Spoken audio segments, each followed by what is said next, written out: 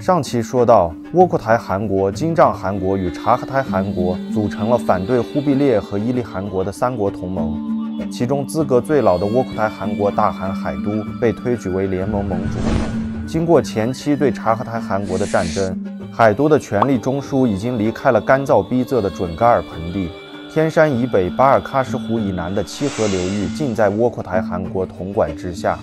有学者认为，古代的中亚地区有一条显著的农牧分界线，这条界限自东天山向西延伸，大至今托木尔峰山节费尔干纳盆地北侧，顺希尔河至咸海里海的北端，称为天山希尔河线。巧合的是，此时窝阔台汗国与元朝和察合台汗国的实控线恰好与这条农牧分界线重合，也就是说，窝阔台汗国在本质上依旧是一个草原型国。天山北路的七河流域上游虽有富饶的草场和零星绿洲，但与中亚腹地的盟友察合台汗国相比，窝阔台汗国所控制的绿洲城镇就要少得多。尤其是察合台汗国控制的费尔干纳盆地和河中地区，历来都是丝绸之路上沟通东西、连接南亚次大陆的十字路口。自亚历山大大帝东征以来，苦展、萨马尔罕和布哈拉等绿洲城市。就传承了千年以上的建城史和商贸传统。对于时常发动对外战争的蒙古汗国来说，谁控制了更多的商业城镇，谁就能保证持续稳定的税收收入。这对确保战争胜利、维持汗王统治尤为重要。海都虽然觊觎着费尔干纳盆地和河中地区的绿洲商业城镇，但碍于三国盟主的身份。不便在明面上继续侵吞察合台汗国的农耕地。为了消除察合台大汗巴剌的戒备心，海都全力支持巴剌向西拓展领土。巴剌率军渡过阿姆河，意图攻占伊利汗国的呼罗珊地区。然而，伊利汗国的呼罗珊总督以逸待劳，在赫拉特一役中用计大败察合台军，大汗巴剌竟然死于回师路上。突如其来的意外让海都放胆一搏。他擅自选定了察合台汗国的新汗布花帖木儿和后继者都瓦。察合台汗廷实际上沦为了窝阔台汗海都的附庸，河中地区众多城镇的财富也都流进了海都的腰包。尝到甜头的海都发现，与其在居无定所的哈萨克大草原上游走，靠着劫掠以战养战，不如多控制一些商业节点，垄断税收，最好能将元朝控制的天山南路绿洲城镇全部据为己有。忽必烈称帝后，不断强化元朝在天山南路的军政机构，还连下三十四道拘捕海都和察合台汗都瓦的诏书，目的在于遏制和打压海都日益扩张的野心。一二七五年至一二八六年，为争夺塔里木盆地绿洲控制权的拉锯战，在元朝和窝阔台汗国联军之间展开。历经十一年的攻伐，天山南路各绿洲几经易主，但两国却保持了与战前几乎一致的控制线。西道诸王与元朝的无效战争告一段落，曾支持忽必烈继承汗位的东道诸王，却在成吉思汗幼弟玄孙乃延的带领下兴兵反元。海都见元朝的后院起火，不再计较天山南路的城池得失，而是集结了三国同盟的联军，与察合台汗都瓦一道越过阿尔泰山，兵锋直指元朝临北的哈拉和林。作为窝阔台后裔的海都。如果能抓住东道诸王反叛的机会，一举拿下蒙古发家的哈拉和林，他就拥有了号令草原的正统名义。年逾古稀的忽必烈担心东西诸王在漠北会师后南下中原，威胁大元江山，决定亲征两路叛乱。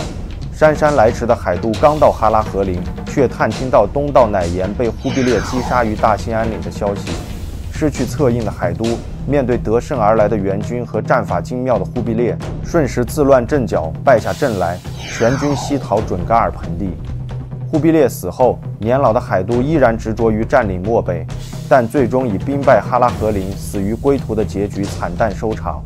海都死后，察台汗国大汗都瓦如释重负，他仿效海都当年的操作，擅立懦弱的察巴尔为窝阔台新汗加以控制。两大汗国的命运就这样戏剧性的来了一次反转。一三零三年，察合台汗都瓦、窝阔台汗察巴尔与元成宗铁木儿达成议和，蒙古各大汗国与元朝之间迎来了短暂的和平时期。元成宗对窝阔台汗国的新汗充满警惕，转而联络察合台大汗都瓦，共同蚕食窝阔台韩国的土地。就这样，反对元朝的西道诸王同盟宣告瓦解。在元朝和察台韩国的东西夹击下，窝阔台汗察巴尔先后投降察台韩国与元朝，韩国土地被瓜分。立国五十八年的窝阔台汗国灭亡，成为了蒙古四大汗国中最先退出历史舞台的一个。视角看向西亚方面，伊利汗国第七任大汗何赞汗继位后，将汗国改为伊斯兰国家，自称为苏丹，包容的民族和宗教政策，多次遣使通好罗马教廷和法兰西王国，再加上与拜占庭帝国结亲。给伊利汗国带来了短暂的繁荣。韩国统治末期，全城叛乱，分管各地的总督拥兵自重，已经事实上各自独立，国家陷入内乱。一三三五年，苏丹布塞因死后无嗣，韩国东部解体为阿富汗高原的卡尔提德王朝，呼罗珊的塞尔别达尔国，伊朗高原中部的穆扎法尔王朝和波斯湾北岸的英甲王朝四个部分。在韩国西部。扎拉伊尔贵族大哈散建立起以报达为中心的扎拉伊尔王朝，而伊利汗国的汗廷大不里氏则被异姓贵族楚邦的后裔小哈散所控制。韩国的傀儡大汗直接听令于小哈散家族的楚邦王朝。分裂后的伊利汗国各诸侯王朝互相攻杀，韩国统治摇摇欲坠。与韩国关系密切的大元帝国。因深陷红巾军等一众农民起义的攻势而自顾不暇，难以驰援。一三五七年，伊利汗国的宿敌金帐汗国大汗扎尼别攻入都城大不里士，傀儡汗廷楚邦王朝的末代苏丹失踪，伊利汗国正式灭亡。黄金家族的势力就此退出伊朗高原和两河流域。察合台汗国长期拥有一批蒙古西征时遗留下来的军事贵族。这些跟着成吉思汗建功立业的部族领袖，在天山北路的绿洲城邦持续经营。同属尼鲁温蒙古支系的巴鲁喇忒部长居河中地区，影响和控制了察合台汗国的政局。强极一时的察合台汗国，因巴鲁喇忒部军事贵族的控制而两度分裂。分裂后的西察合台汗国大汗，已经沦为巴鲁喇提贵族的傀儡。一三六八年，明军攻占大都，元惠宗北逃上都，史称北元。与东部蒙古势力退出中原、据守漠北的境遇不同，同时期的巴鲁喇提贵族后裔，人称“跛子”的铁木尔，却在河中萨马尔汗建立起强大的伊斯兰国家——铁木尔帝国。铁木尔统领帝国的三十五年间，不但迫使东察台汗国迁都别什巴里，并吃掉西察台汗国。还横扫河中、呼罗珊和伊朗高原，并先后占领了金帐汗国的高加索、印度德里苏丹国的北部区域、埃及马木留克王朝的叙利亚和奥斯曼帝国的安纳托利亚高原。铁木尔继承了伊利汗国鼎盛时期的疆域，成为自小亚细亚直达印度河流域的庞大帝国。最终，野心膨胀的铁木尔决定远征明朝。消息传到南京，明廷上下无不震撼。有种说法是，明成祖朱棣选派郑和首航西洋，就有打通海路、从背后钳制铁木尔帝国的意图。然而天命难违，铁木尔病死于东征途中的额达腊。此后，昙花一现的帝国实力因王位争夺而迅速衰败，逐渐沦为仅控制河中与阿富汗高原的区域性大国。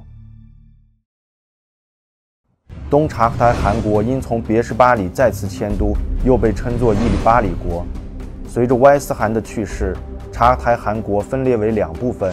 位于天山北路的蒙兀尔斯坦由长子统治，而位于天山南路的伊犁巴里由歪斯汗的次子管辖。伊犁巴里后来迁都至阿克苏。在更遥远的金帐汗国，右翼青帐汗国的后裔阿布海尔于1428年建立乌兹别克汗国。庞大的金帐汗国出现了第一次分裂。两年之后，竹赤之子托花帖木儿的后裔哈吉格莱在黑海之滨宣布脱离金帐汗国，建立克里米亚汗国。蒙古高原上强势的瓦剌部首领戳罗斯蒙可帖木儿不但建立有瓦剌汗国，身兼北元太师的他，还杀害大汗自立，废除大元国号，复称蒙古，史称鞑靼汗国。而蒙可帖木儿的儿子马哈木却不敢窃居鞑靼汗位，扶植成吉思汗的后裔为傀儡大汗。不满瓦剌首领世主篡位的前鞑靼太师阿鲁台，找到成吉思汗弟弟和萨尔的一个后裔，在蒙古东部宣称自己拥立的鞑靼大汗才是正统。一四三三年，在新任瓦剌大汗鞑靼太师托欢的策划下，将元昭宗的曾孙托托布花册立为西部鞑靼大汗，并将瓦剌大汗的头衔一并让给托托布花。就这样。蒙古高原正式出现了瓦剌支持的西部鞑靼大汗和阿鲁台控制的东部鞑靼大汗，两汗共治时期长达五年。东部鞑靼大汗死后，瓦剌一家独大，太师也先统一了全蒙古。也先的全盛时期只有短暂的两年，瓦剌汗国随着他的死而分崩离析。其长子、次子西迁阿尔泰山，分别建立起杜尔伯特部和准噶尔部，这两部联合和硕特部。图尔扈特部形成了瓦剌联盟。瓦剌人离开后，草原分裂，各自为政。鞑靼汗位竟有九年完全空缺，直到一四七五年，托托布花之地满都鲁在哈密涅克利人的扶持下，才延续了鞑靼汗国的汗位。被驱逐的金帐汗国大汗乌鲁黑马哈马于一四四五年另立喀山汗国。几乎就在同时，诺盖人等十八个突厥和蒙古部族在里海和咸海北部宣布独立，建立起非蒙古贵族统治的诺盖汗国。